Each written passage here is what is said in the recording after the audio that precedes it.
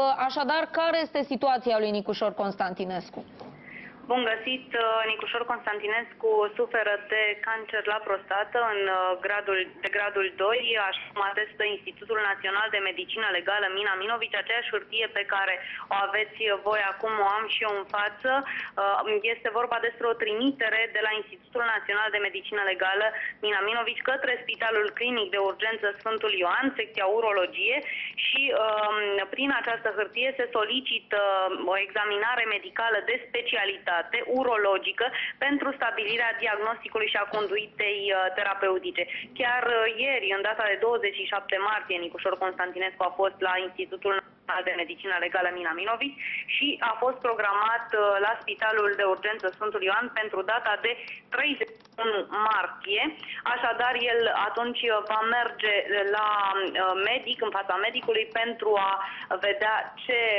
are de făcut, care va fi tratamentul de uh, menționat că Nicușor Constantinescu ne spunea un pic mai devreme că a fost și în Statele Unite și același, uh, același uh, diagnostic de cancer la prostată, gradul 2, i-a fost stabilit și de uh, medicii de acolo, a fost văzut de către doi medici uh, de la, din Statele Unite. Aceștia au mai spus că toate, uh, tot tratamentul și o eventuală operație, o eventuală intervenție chirurgicală pentru rezolvarea acestei probleme l-ar uh, putea putea ajunge la aproximativ 100 de mii de dolari, cam acesta ar fi costul uh, punerii pe picioare a șefului a președintelui Consiliului Județean uh, Constanța.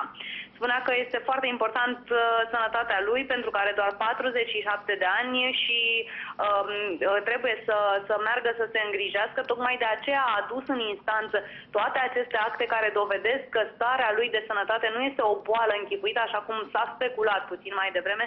ci este uh, într-adevăr o problemă cu care se confruntă, o problemă de care a aflat uh, uh, fără să vrea, având dureri de oase, a mers și și-a făcut mai multe analize și în urma acelor analize a trebuit să meargă mai departe pe firul investigațiilor și a descoperit și acest cancer de prostată gradul 2.